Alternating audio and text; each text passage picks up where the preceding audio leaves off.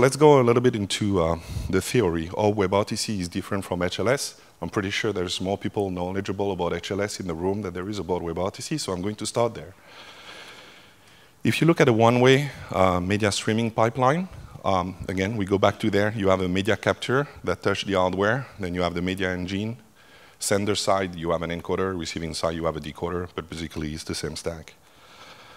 You can optimize a lot of things if you're not live. If you have pre-recorded content, then basically all the encoding part, all the sending part uh, can actually be done with an infinite amount of time, almost. You know, that Batman movie from 99 has been around for a lot of time. You can make you know four pass, 20 pass encoding. Netflix is doing a lot of very smart things there to actually optimize the encoding. So the resulting file in the middle that's going to be stored is going to be the smallest possible. Um, you can upload everything.